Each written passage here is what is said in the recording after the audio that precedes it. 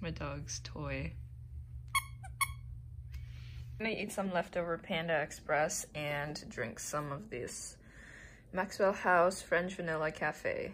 Um, stuff's pretty good, you just mix with water.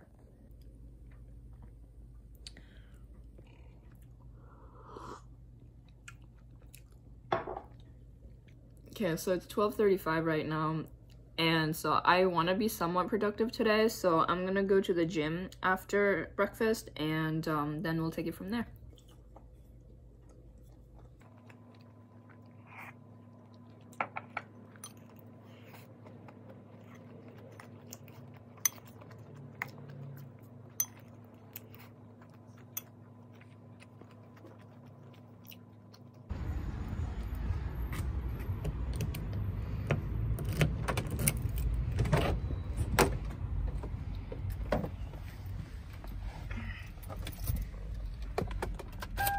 Right now and I'm headed to the gym. This is my mom's old van, um, but it got passed down to me because she got a new car. So I guess technically this is my car now, even though I didn't pay for it.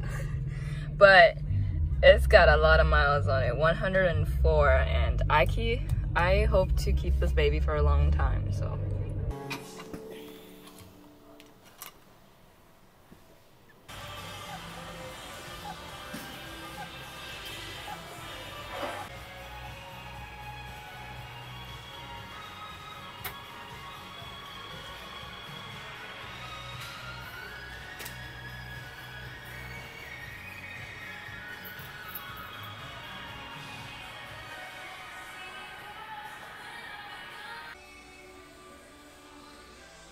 Okay guys, I just got back from the gym. I stopped at the library for a quick second. Um, it's around 2.07 p.m. right now, but I wanted to show you, um, this is one of the things I picked up, which is A Mind for Numbers. Um, how to excel at math and science even if you flunked algebra.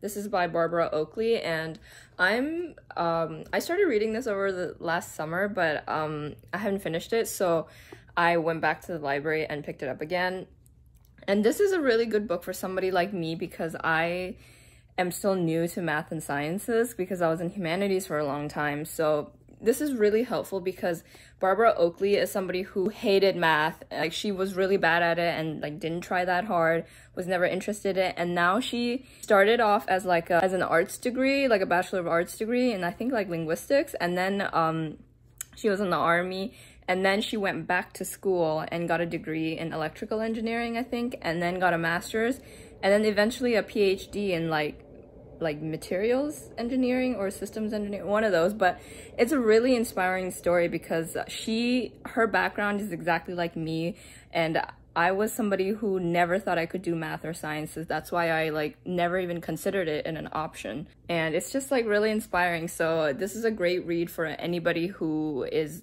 um, kind of shaky on math and science. Um, I believe in you. Barbara Oakley believes in you. We all believe in you. and another thing I picked up is Bones. First season, this is just the first disc.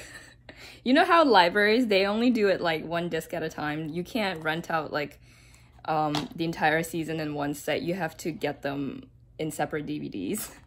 I don't know if every, anybody like runs from the library, but I love it. And um, I used to watch this on Netflix, but they took it down, which is sad because um, I haven't seen this in a while and I've been wanting to watch it um, again. So that's Bones, one of my faves. We'll see what else we're gonna do right now. I'm not sure exactly.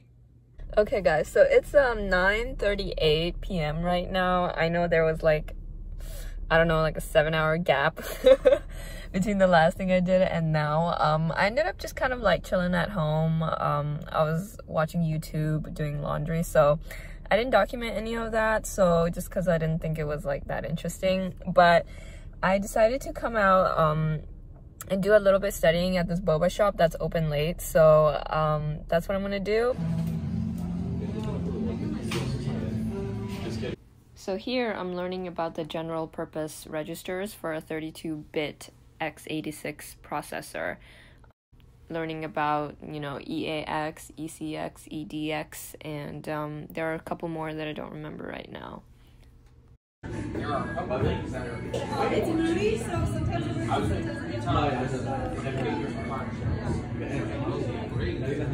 because they have so much. Also taking notes about how a processor reads from memory and how it executes a a program. It lists the steps that the processor has to take to be able to do those two functions. Okay, so I'm in the parking lot right now. I finished um, studying. I was doing some assembly language. Um, we haven't started actually programming in assembly yet. We're just like right now learning about the hardware and sort of architecture of the computer. I am waiting for my sister and her boyfriend to come out of Safeway right now. And then we're gonna go to Taco Bell because we don't know what food is at home. So we're just gonna like go to Taco Bell. So this, you know, this day, not much happened, but I feel like was pretty uh, productive and a nice laid back day. Like during the week, all I do is go to school, go to my internship, do homework, and sleep.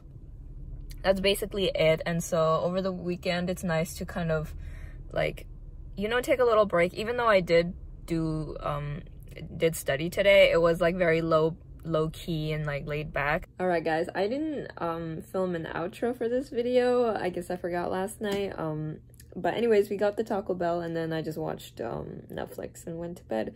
Um so thank you guys for watching and please subscribe. Um, it really does help um it means a lot to me and um thanks for watching. I'll see you next time